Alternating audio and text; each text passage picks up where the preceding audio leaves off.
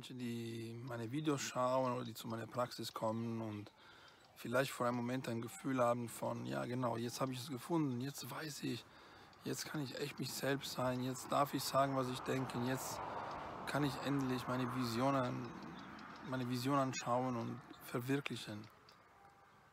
Dann haben sie meistens immer die Frage eben, ja, wie kann ich das halten? Aber das, worum es genau geht, ist es eben, dass ich rede nicht über etwas, was man halten muss, festhalten muss. Das, worüber ich rede, ist, dass das, was wir wirklich sind, ist unabhängig von Ängste, Sorgen, Schwankungen des Lebens. Es ist etwas so einfach und so simpel im Grunde, das ist das reine Dasein. Und das ist immer da. Das ist nicht etwas, woran man halten muss. Nur, dass wir das nicht wahrnehmen oder dass wir das vergessen haben, wie man das wahrnimmt. Wir haben das Gefühl, es ist weiter weg von uns, aber es ist immer hier. Wir sind immer hier.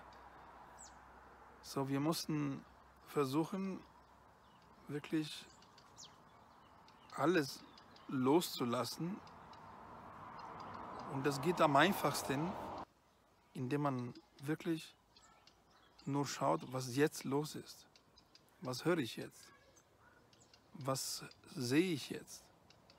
Weil man kann sogar die Augen zumachen, damit man noch weniger, weniger Eindrücke hat.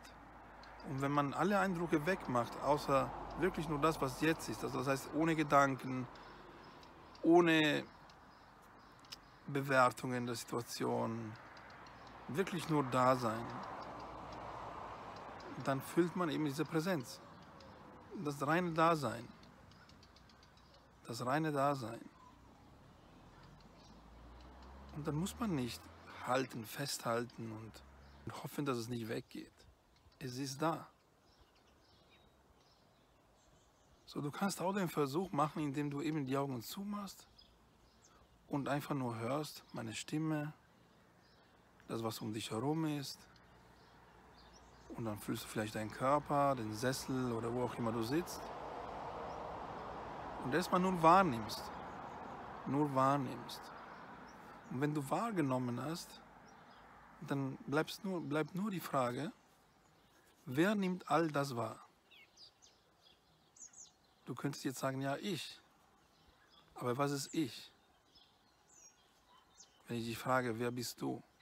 Dann fängst du bestimmt an, deine Geschichte zu erzählen oder erzählen, dass du zu dick oder zu jung oder zu alt bist. Aber ich rede nicht von diesem Ich, von dieser Person. Ich rede von dem Ich, der eben einfach nur wahrnimmt. Einfach nur wahrnimmt, dass diese Existenz da ist. So, versuch wirklich, alles stehen zu lassen. Augen zu und nur wahrnehmen. Ohne dass du an deine Vergangenheit dich erinnern musst. Nur wahrnehmen wahrnehmen, dass die Existenz da ist. Dass du selbst existierst. Dass du selbst die Existenz bist, Teil der Existenz, wenn du möchtest. Es ist nichts Religiöses. Es ist nichts Philosophisches. Es ist eine einfache Sache. Du bist einfach nur da. Als ob du fliegen möchtest und du packst deine ganze Vergangenheit, Zukunftsgedanken, Ideen über dich selbst, alle Rollen, die du irgendwie gehabt hast, einfach packst in einen Koffer und abgibst. Du kriegst den Koffer sowieso wieder.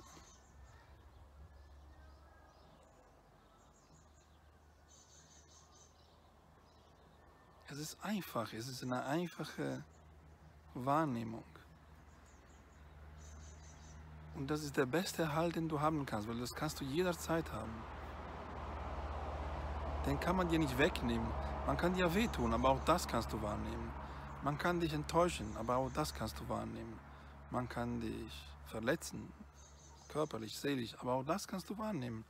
Du nimmst alles aus dir, aus der Tiefe in dir wahr, aus einem Punkt, was nur wahrnimmt.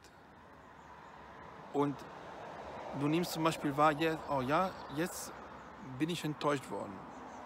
Aber du, du bist nicht enttäuscht worden, sondern ein Teil von dir ist enttäuscht worden.